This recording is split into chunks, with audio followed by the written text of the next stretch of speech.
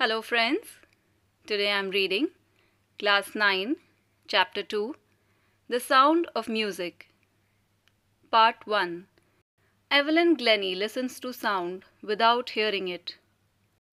Before you read, God may have taken her hearing, but He has given her back something extraordinary.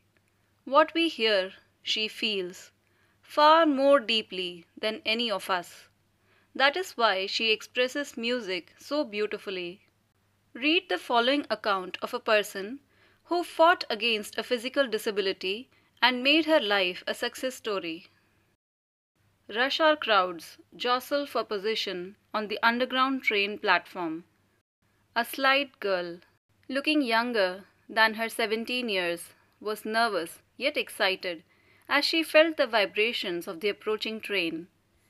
It was her first day at the prestigious Royal Academy of Music in London, and daunting enough for any teenager fresh from a Scottish farm. But this aspiring musician faced a bigger challenge than most. She was profoundly deaf. Evelyn Glennie's loss of hearing had been gradual. Her mother remembers noticing something was wrong when the eight year old Evelyn was waiting to play the piano. They called her name and she didn't move. I suddenly realized she hadn't heard, says Isabel Glennie. For quite a while, Evelyn managed to conceal her growing deafness from friends and teachers. But by the time she was 11, her marks had deteriorated, and her headmistress urged her parents to take her to a specialist. It was then discovered that her hearing was severely impaired as a result of gradual nerve damage. They were advised that she should be fitted with hearing aids and sent to a school for the deaf. Everything suddenly looked black, says Evelyn. But Evelyn was not going to give up. She was determined to lead a normal life and pursue her interest in music. One day she noticed a girl playing a xylophone and decided that she wanted to play it too. Most of the teachers discouraged her, but percussionist Ron Forbes spotted her potential. He began by tuning two large drums to different notes. Don't listen through your ears, he would say. Try to sense it some other way. Says Evelyn. Suddenly I realized I could feel the higher drum from the waist up and the lower one from the waist down. Forbes repeated the exercise, and soon Evelyn discovered that she could sense certain notes in different parts of her body. I had learned to open my mind and body to sounds and vibrations. The rest was sheer determination and hard work.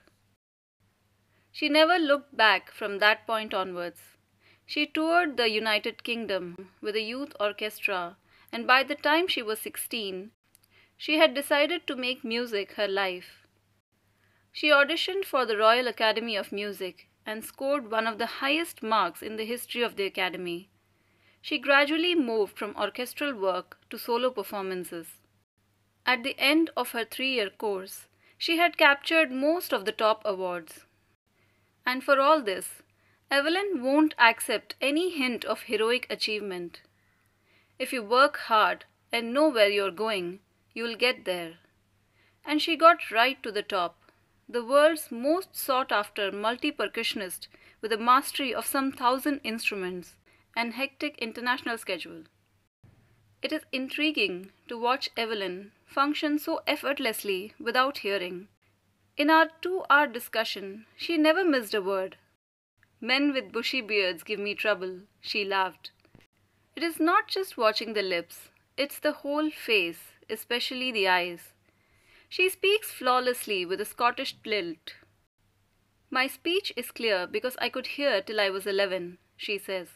But that doesn't explain how she managed to learn French and master basic Japanese. As for music, she explains, it pours in through every part of my body. It tingles in the skin, my cheekbones, and even in my hair. When she plays the xylophone, she can sense the sound passing up the stick into her fingertips. By leaning against the drums, she can feel the resonances flowing into her body. On a wooden platform, she removes her shoes so that the vibrations pass through her bare feet and up her legs. Not surprisingly, Evelyn delights her audiences. In 1991, she was presented with the Royal Philharmonic Society's prestigious Soloist of the Year award, says master percussionist James Blades. God may have taken her hearing, but He has given her back something extraordinary. What we hear, she feels, far more deeply than any of us. That is why she expresses music so beautifully. Evelyn confesses that she is something of a workaholic.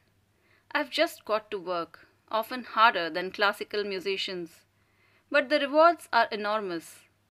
Apart from the regular concerts, Evelyn also gives free concerts in prisons and hospitals. She also gives high priority to classes for young musicians. Anne Richlin of the Beethoven Fund for Deaf Children says, She is a shining inspiration for deaf children. They see that there is nowhere that they cannot go. Evelyn Glennie has already accomplished more than most people twice her age. She has brought percussions to the front of the orchestra and demonstrated that it can be very moving. She has given inspiration to those who are handicapped, people who look to her and say, If she can do it, I can. And not the least, she has given enormous pleasure to millions. Deborah Cowley. Part 2 The Shehnai of Bismillah Khan. Before you read, do you know these people? What instruments do they play? Think of the Shehnai, and the first thing you'll probably imagine is a wedding or a similar occasion or function. The next would probably be Ustad Bismillah Khan, the Shehnai maestro, playing this instrument. Emperor Aurangzeb banned the playing of a musical instrument called pungi in the royal residence, for it had a shrill, unpleasant sound. Pungi became the generic name for reeded noisemakers. Few had thought that it would one day be revived. A barber of a family of professional musicians, who had access to the royal palace, decided to improve the tonal quality of the pungi. He chose a pipe with a natural hollow stem that was longer and broader than the pungi, and made seven holes on the body of the pipe. When he played on it, closing and opening some of these holes, soft and melodious sounds were produced. He played the instrument before royalty and everyone was impressed. The instrument, so different from the pungi, had to be given a new name. As the story goes, since it was first played in the Shah's chambers and was played by a nai, barber, the instrument was named the Shehnai. The sound of the Shehnai began to be considered auspicious, and for this reason it is still played in temples and is an indispensable component of any North Indian wedding. In the past, the Shehnai was part of the Naubat or traditional ensemble of nine instruments found at royal courts. Till recently, it was used only in temples and weddings. The credit for bringing this instrument onto the classical stage goes to Ustad Bismillah Khan. As a five year old, Bismillah Khan played Gilli Danda near a pond in the ancient estate of Dumraon in Bihar. He would regularly go to the nearby Bihariji temple to sing the Bhojpuri Chaita, at the end of which he would earn a big laddu weighing 1.25 kg, a prize given by the local Maharaja. This happened 80 years ago, and the little boy has travelled far to earn the highest civilian award in India, the Bharat Ratna. Born on 21 March 1916, Bismillah belongs to a well known family of musicians from Bihar. His grandfather, Rasul Baksh Khan, was the Shehnai Nawaz of the Bhojpur king's court. His father, Paigambar Baksh, and other paternal ancestors were also great Shehnai players. The young boy took to music early in life. At the age of three, when his mother took him to his maternal uncle's house in Benares, now Varanasi, Bismillah was fascinated watching his uncles practice the Shehnai. Soon, Bismillah started accompanying his uncle, Ali Baksh, to the Vishnu temple of Benares, where Baksh was employed to play the Shehnai. Ali Baksh would play the Shehnai and Bismillah would sit captivated for hours on end. Slowly, he started getting lessons in playing the instrument and would sit practicing throughout the day. For years to come, the temple of Balaji and Mangala Maiya and the banks of the Ganga became the young apprentice's favorite haunts where he could practice in solitude.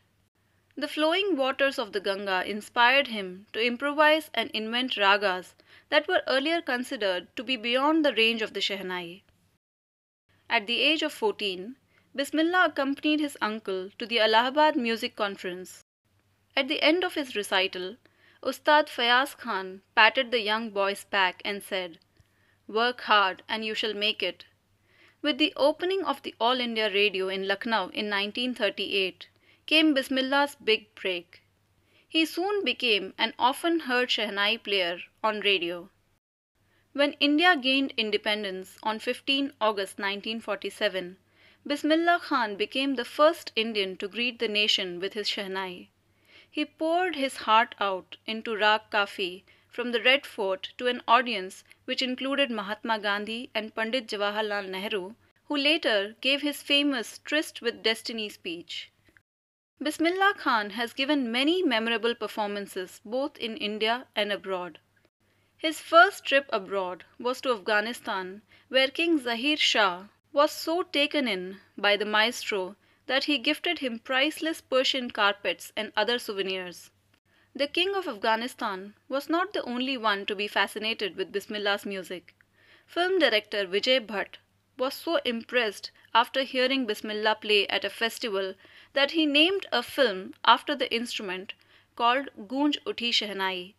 The film was a hit, and one of Bismillah Khan's compositions, Dil Ka Khilona Hai Toot Gaya, turned out to be a nationwide chartbuster. Despite this huge success in the celluloid world, Bismillah Khan's venture in film music were limited to two Vijay Bhatt's Goonj Uthi Shehnai and Vikram Srinivasa's Kannada venture, Sanadi Appanna. I just can't come to terms with the artificiality and glamour of the film world, he says with emphasis. Awards and recognition came thick and fast. Bismillah Khan became the first Indian to be invited to perform at the prestigious Lincoln Center Hall in the United States of America. He also took part in the World Exposition in Montreal, in the Cannes Art Festival, and in the Osaka Trade Fair. So well known did he become internationally that an auditorium in Tehran was named after him. Tahar Mausiq Ustad Bismillah Khan. National awards like the Padma Shri, the Padma Bhushan, and the Padma Vibhushan were conferred on him. In 2001, Ustad Bismillah Khan was awarded India's highest civilian award, the Bharat Ratna. With the coveted award resting on his chest and his eyes glinting with rare happiness, he said, All I would like to say is, teach your children music. This is Hindustan's richest tradition even the West is now coming to learn our music. In spite of having traveled all over the world, Khan Saab, as he is fondly called, is exceedingly fond of Benares and Dumraon, and they remain for him the most wonderful towns of the world. A student of his once wanted him to head a Shehnai school in the USA, and the student promised to recreate the atmosphere of Benares by replicating the temples there. But Khan Sahib asked him if he would be able to transport river Ganga as well. Later he is remembered to have said, That is why whenever I am in a foreign country, I keep yearning to see Hindustan. While in Mumbai, I think of only Benares and the holy Ganga, and while in Benares, I miss the unique matta of Dumraon. Ustad Bismillah Khan's life is a perfect example of the rich cultural heritage of India one that effortlessly accepts that a devout Muslim like him can very naturally play the Shehnai every morning at the Kashi Vishwanath temple. Shekhar Gupta When the partition happened, didn't you and your family think of moving to Pakistan? Bismillah Khan God forbid, me leave Banaras? Never. I went to Pakistan once. I crossed the border just to say I have been to Pakistan. I was there for about an hour. I said namaskar to the Pakistanis and salam alaikum to the Indians. I had a good laugh. Reader's Digest, October 2005. Wind. The wind blows strongly and causes a lot of destruction. How can we make friends with it? Wind. Come softly. Don't break the shutters of the windows. Don't scatter the papers. Don't throw down the books on the shelf. There, look what you did. You threw them all down. You tore the pages of the books. You brought rain again. You're very clever at poking fun at weaklings. Frail, crumbling houses, crumbling doors, crumbling rafters, crumbling wood, crumbling bodies, crumbling lives, crumbling hearts. The wind god winnows and crushes them all. He won't do what you tell him. So come, let's build strong homes. Let's joint the doors firmly, practice to firm the body, Make the heart steadfast. Do this, and the wind will be friends with us. The wind blows out weak fires. He makes strong fires roar and flourish. His friendship is good. We praise him every day. Subramanya Bharati, translated from the Tamil by A. K. Ramanujan. Subramanya Bharati, 1882 1921, is a great Tamil poet famous for his patriotism in the pre-independence era. A.K. Ramanujan is a Kannada and English poet, well known for his translation of classical and modern poetry. So friends, if you know someone who will benefit from these videos, kindly share it with them. Like the video and also subscribe to the channel so that you never miss any more videos from this channel. And thanks for listening.